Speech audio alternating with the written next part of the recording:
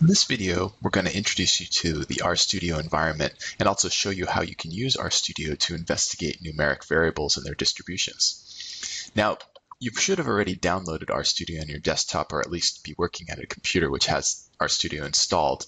To open RStudio, look for a circle with an R on it. And you have to be a little bit careful at this point because there's also the R console, which is probably installed. And just to show you kind of the difference between the two, if I enter my program files, you'll see there's a file for R and RStudio. And with R, the icon that you would typically see on the desktop just looks like an R, but with RStudio, it has a little circle around it, yay. So once you've opened up RStudio and are ready to go, then the first step is we're going to import some data to work with. Now, the thing with RStudio is that, and R in general, is that it's much easier to work with CSV files than Excel files. So what we're going to do first is we're going to take the students 15 Excel file that we had in last week's lab video, and we're first going to go and save it as a CSV file for comma delimited. Now I've already done that, but you should take a moment to do that on your computer. After you've done so, you can return to RStudio, go to Import Dataset, locate the place on your computer where you saved your CSV file. Make sure, make sure it says CSV next to it. Open it up, and check to make sure that when you upload it, this, this sort of heading yes is highlighted as opposed to heading no. See if I click on heading no, notice that the variable names are actually stored as observations instead of the titles for the columns, which is what we want. So after you import the data, it should show up in the upper left-hand corner of the RStudio environment. And now you have a variable saved in your workspace called students15.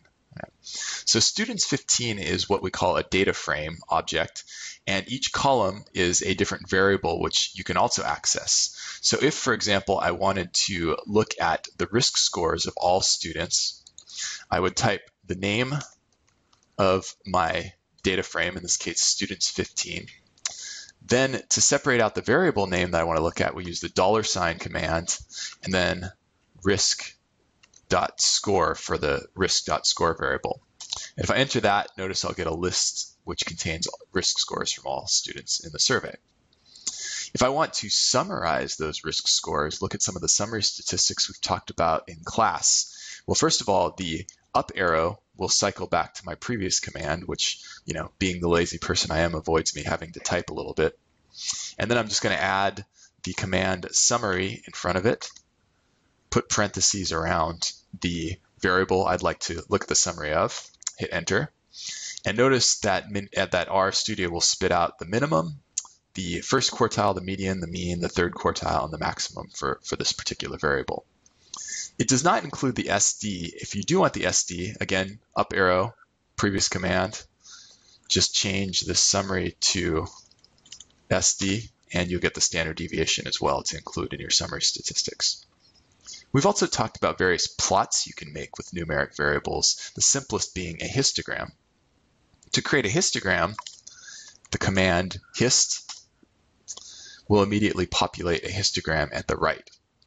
Now notice that this histogram doesn't look so nice. It has you know the, the sort of variable name in the RStudio environment down here and up here. There's lots of options you can that, that R has for modifying the look of histograms. You can find out a little about these using the help menu and typing in hist. When you do so, you'll see the help menu for hist, and you can see that the the sort of syntax for using this command. The first argument is the variable that you're trying to make a histogram of, but then there's a whole bunch of other possible arguments here, most of which you may never use, but it's, it's nice to know where to find them in case you do. Now, the, the three that are most useful, I think, are the breaks command, which modifies the number of bins used in the histogram, uh, and also these xlab, ylab commands, which help you change the titles of the x and y axes and the main command, which changes the title of the whole histogram itself. So just to illustrate, let's go back to our previous histogram here. And what we're going to do is we're going to change the X lab to risk score, because that's actually what's plotted on the x-axis. and I'm going to completely get rid of the main title on the graph.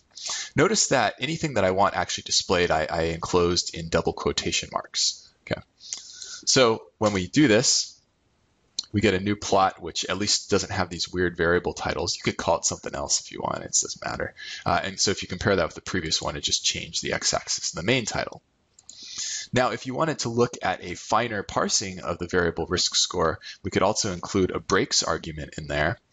And breaks can simply just be a number which increases the number of breakpoints to use when creating bins. So for example, if I use breaks equals 20, notice my histogram now parses the data up into smaller intervals. And this kind of reveals different features of the data set. In this case, it doesn't really change sort of what you might say that much here. Another type of display we discussed with numeric variables is called a box, is a box plot. Right? So I'm going to leave the same X label and main, but I'm just going to change this hist to a box plot here. And now we get a box plot of the risk scores of the students. And this, this kind of shows you that, well, there was one outlier with a risk score of more than 45, uh, but the majority of students had kind of risk scores between, it looks like maybe 33 and, you know, 27 or so. In fact, we could get the exact values by looking back at the summary statistics here. Right. So if you're okay so far, then take a deep breath and continue on because the other thing we'd like to do is be able to compare the distribution of a numeric variable across different categories or different subsets of the population.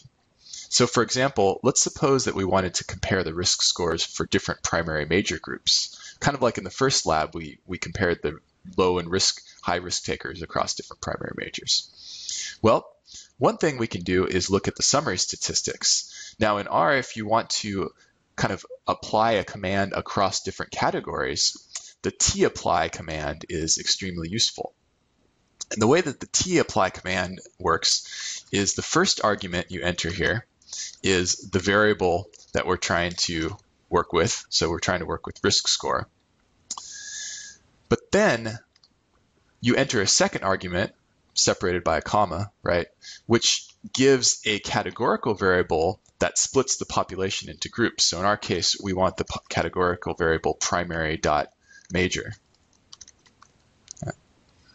And finally, the last argument is the command which you would like to apply to each subset given by the categorical splitting variable. So in our case, what I'd like to do is just summarize the risk scores for each group. So when we do that, you can see we get now uh, not just one list of min, you know, five number summary and mean, but we get five separate lists for each different subset of our population, right, which is useful for comparison purposes. You could do the same thing here if you wanted to compare the standard deviations. For example, you would just change this last argument to SD, and then it would give you the standard deviation within each group. Now, box plots, as we've mentioned, are also useful for comparing a numeric variable across groups. And so let's go back to the command where we entered the box plot in the first place. It's really simple to modify the box plot command in R to include a categorical variable. The syntax is to use the tilde operator. So this tilde in R basically means as, as a function of. So what we want to do is when we look at student risk score as a function of, student's major. Right. So if I do this, and now I'm going to change this actually because I, I want the, the majors to, to display on the x-axis, I'm just going to change the title to box plot of risk score by major. Okay. And now we see we have all five groups separated out and we have box plots for these majors. Now, one final tip for cleaning up this graph is if you'll notice on this axis down here that not all the group names show up, and that's because they're too long to fit on the graph. And that's easily modified by the names option within the box plot framework. So what names does is it specifies a list of names that you can use. So you can specify them to be whatever you want, and it will display those names in the appropriate order on the x-axis of a box plot. Now, to, the syntax is we start off with C. C is the R command for concatenate or putting together. Right? Then we enter the first group name enclosed by double quotes. The second group name, now they were they're in alphabetical order, so the second one was the engineering group. The third group name, humanities. The fourth group name, which was natural science, and the fifth group name, which was social science, right? So now if I replot this, we now see that all, all five groups do get labeled in some manner, so at least we can distinguish between them for analysis. Now, if you want to include these graphs in a report, that's also very simple. There's an export command here where you can either copy it to your clipboard and then just directly paste it into Word or actually save it as some sort of image file. So I hope this is enough to get you started with RStudio. We will be using this and further investigating some of its properties in future labs, but it is a very powerful tool for the analysis of statistical data.